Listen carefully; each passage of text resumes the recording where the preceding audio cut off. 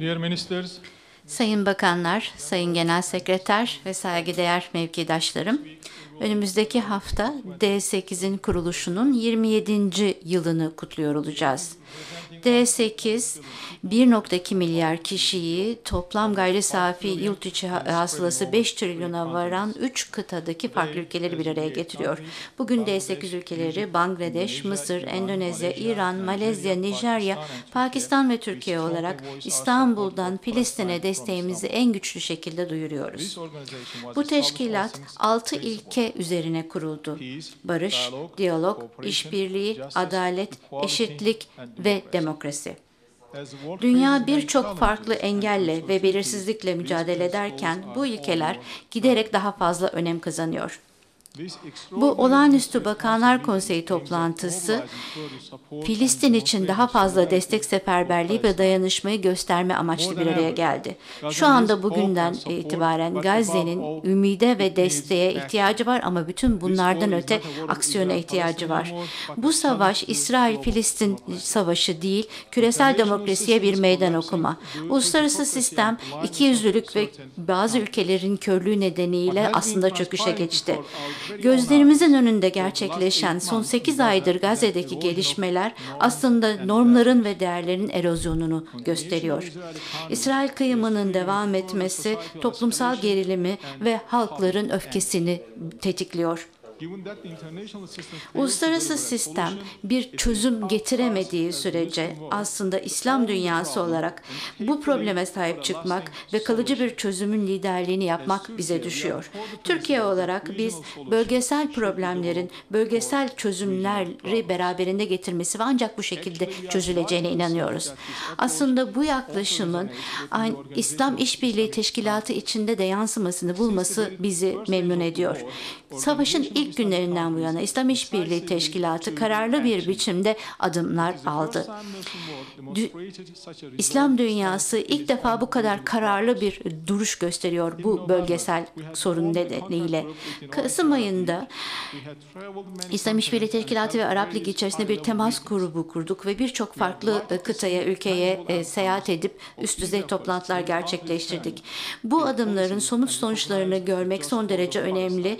Politikalarını değiştiren ülkeler ve Filistin'in adil davasını kabul eden ülkeler var. İslam İşbirliği Teşkilatı'na ilaveten İslam Dünyası, Arap Ligi, Türk İş- Devletleri Teşkilatı ve Körfez İşbirliği Konseyi gibi teşkilatlarla da adımlar attı. Bütün bunlar son derece geniş kapsamlı bir biçimde, sistemli bir biçimde İsrail'e baskı yaratmak için uygulanan e, çalışmaların sonucu. İsrail'in savaşı giderek tırmandırma çabalarının karşısında bölgedeki e, kardeşlerimiz giderek tehdit altında yaşamaya devam ediyor. Şu anda Mısır sınırındaki e, olaylar, Lübnan'ın hedef alınması ve e, Suriye'deki İran konsolosluğuna yapılan saldırılar hep bu bölgesel taşma etkisinin sonuçları.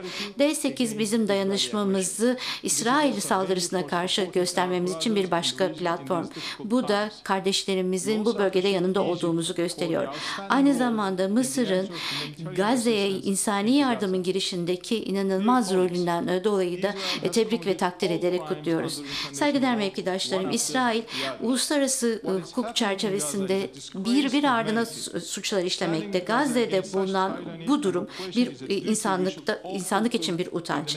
Gazze'nin yanında durmak ve bu zorbalığa ve baskıya direnebilmek hepimizin görevi ve insanlık adına bir dönem. İşgal, ilhak ve yasa dışı yerleşimlere karşı durmak ve insan onurunu yüceltmek zorundayız. D8 ülkeleri olarak Filistin'in yanındayız ve arkasındayız. Bugünkü toplantımız bu taahhütlerin tekrarlanması için bir fırsat. Ve her e, noktada işbirliğimizin beyanı ile Filistin halkının e, haklarını e, güvence altına almak için çalışıyoruz. Hiçbir şüphemiz yok ki Gazze'deki bu katliamı gerçekleştirenler bir gün hesap verecekler ve Filistin'in barışçıl geleceği yanında duranlar kazanacaklar. Biz bunu ge- gerçekleştirmek için çok çalışma gerçekleştiriyoruz ve çok çalışıyoruz. Başlangıçtan itibaren iki devletli ve e, bağımsız, egemen, e, toprak bütünlüğü olan 1967 sınırları içerisinde Doğu Kudüs başkenti olan bir Filistin devletini desteklemeye devam ettik. Bugüne kadar 148 ülke Filistin devletini tanıdı. İspanya, Norveç, İrlanda ve e, en yakın ge- e, geçmişte Slovenya'nın katılmasıyla yüzlerce ülke bu e, tarihi e, adaletsizliğe karşı durdu ve buna bir muhalefet şerhi koydular. Geri kalan ülkelerde eminim ki bunu takip edecekler. Bir noktada Filistin Birleşmiş Milletler'e tam üye olacak ve biz bu noktada Filistin devletini tanımaları için diğer ülkelere çağrıda bulunuyoruz. Birleşmiş Milletler Güvenlik Konseyi aslında bu çağrıya kulak vermeli ve bir ülkenin esiri olmaktan çıkmalı.